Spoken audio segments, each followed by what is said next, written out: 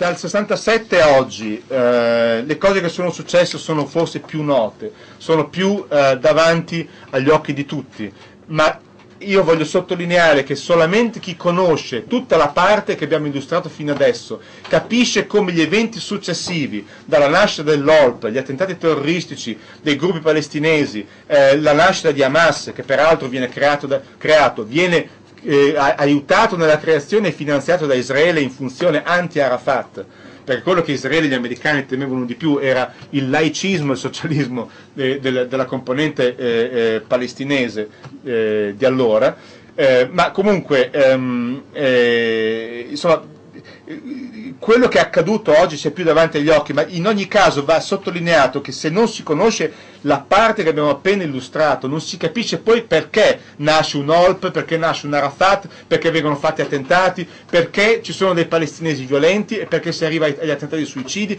perché si arriva ad Hamas. Cioè, se non si racconta tutto questo, sembra veramente che ci sia stato un popolo arabo barbaro che a un certo punto è impazzito e si è messo a fare stragi di occidentali e di israeliani a piacimento. Se si racconta tutta la parte precedente si capisce che la violenza palestinese, per quanto esecrabile, per quanto certamente terrorista, è un terrorismo, e cito Edward Herman, è un terrorismo alla spicciolata che reagisce a 60, ormai sono diventati 100, più di 100 anni di violenze, di ingiustizie, di, di, orrori neonazisti, come dicono stessi, alcuni degli stessi leader ebraici, eh, di orrori neonazisti contro i palestinesi. Una reazione non è un'azione. È fondamentale capire questo passaggio, che i nostri esperti televisivi non citano ovviamente mai reagire non è agire violenza, è ben altra cosa, ma si guardano dal dirlo, perché se dicessero che Hamas, per quanto terrorista e violento, reagisce, dovrebbero raccontare al pubblico, ma reagisce a che? E allora dovrebbero raccontare al pubblico tutto quello che vi ho raccontato stasera, ma quello non lo vogliono raccontare. Assolutamente no. E neppure la parte più moderna, come quando Abe Eben, ambasciatore israeliano eh, all'ONU, fu talmente schifato dalle politiche israeliane nei territori occupati che disse Menachem Begin eh, noi riversiamo ogni tipo di orrore, devastazione e morte sui palestinesi con metodi che mi ricordano un regime che né io né lei, primo ministro, oseremmo chiamare per nome e si riferiva ai nazisti. Cioè dovrebbero raccontare queste cose e chiaramente non le vogliono raccontare.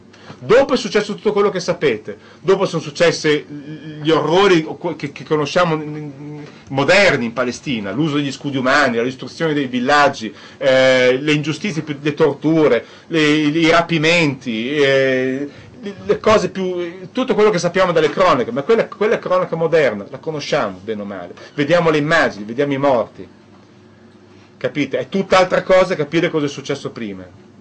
È tutt'altra co- cosa capire infine che se vogliamo porre fine alla tragedia israelo-palestinese, ma anche per il bene del popolo ebraico, che viene regolarmente ingannato da questi assassini neonazisti che sono i leader politici sionisti, se vogliamo la pace in quelle terre va raccontata la verità. È solo attraverso questa verità che si può arrivare alla pace. Bisogna che Israele chieda scusa per quello che ha fatto. Certamente oggi non si può eliminare lo Stato di Israele, ma questo non ci pensa nessuno, non ci pensano neppure gli arabi. Anche quella è un'altra menzogna. Non è vero che vogliono buttare Israele a mare. Ismail Haniyeh, eh, che è il primo ministro di Hamas, eletto nei territori a Gaza, adesso sta, è primo ministro dei palestinesi, comunque perché è stato eletto primo ministro dei palestinesi di Hamas, ha scritto sul Washington Post nel luglio del 2006, noi siamo a favore di una terra in pace per tutti i popoli semiti del Medio Oriente. I popoli semiti del Medio Oriente significa i palestinesi e gli ebrei. Lo ha dichiarato sul Washington Post, non l'ha riferito nessuno, non l'ha ripreso nessuno. Erano i giorni in cui Israele avrebbe poi attaccato il Libano, uccidendo mille persone innocenti. Ora bisogna raccontare la verità. Israele deve chiedere scusa e ritornare alla ragione. Questo è per il bene anche del suo popolo. E deve permettere ai palestinesi di avere uno Stato ma senza questa narrativa precedente non si può mobilitare l'opinione pubblica. La gente vi dirà sempre, ma come? Volete addirittura dare uno Stato a dei terroristi? Gli arabi, cattivi, fanatici, Al-Qaeda, che con, che con Hamas non c'entra assolutamente niente. Um, credo che eh, ce ne sia abbastanza per fermarci qua. L'invito che faccio, con cui voglio concludere questa, questa presentazione, è che eh, chiunque abbia a cuore la, la la causa palestinese deve mettersi in mente che se all'opinione pubblica non raccontiamo la storia che vi ho raccontato questa sera, non c'è speranza di cambiare il destino dei palestinesi. È inutile fare le in le manifestazioni in piazza, non serve a niente. È inutile protestare, è inutile andare in televisione e far vedere i bambini morti.